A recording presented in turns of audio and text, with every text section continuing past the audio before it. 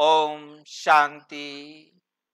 प्रश्न है, विश्व परिवर्तक बनने के पहले कौन सा परिवर्तन करने की शक्ति चाहिए? हम विश्व को परिवर्तन करने वाले कब बनेंगे? हमने विश्व का परिवर्तन करना है और विश्व का परिवर्तक बनने के पहले हमें अपने में कौन सा परिवर्तन करने की शक्ति चाहिए? बाबा कैसे समझाते हैं? विश्व परिवर्तक बनने के पहले अपने संस्कारों को परिवर्तन करने की शक्ति चाहिए।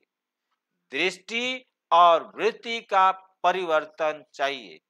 पहले अपने संस्कार बदले, संस्कार बदलेंगे तो हमारी दृष्टि बदलेगी, हमारी वृत्ति बदलेगी। आप दृष्टा इस दृष्टि द्वारा देखने वाले हो। क्योंकि जो बाबा ने श्रीमत में दे दी है, अब हमने उसी नज़र से सबको देखना है।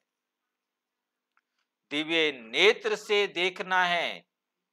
देखा ना कि, देखो ना कि चमड़ी की आँखों से। इन चर्म चक्षुओं से नहीं देखना, किससे देखना है? जो ज्ञान का तीसरा नेत्र दिया है। दिव्य नेत्र से देखेंगे तो स्वतः दिव्य रूप ही दिखाई देंगे।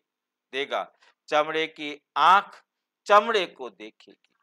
चमड़ी के लिए सोचती है, ये काम फरिश्तों व ब्राह्मणों का नहीं कि वो चमड़े की आँखों से देखे।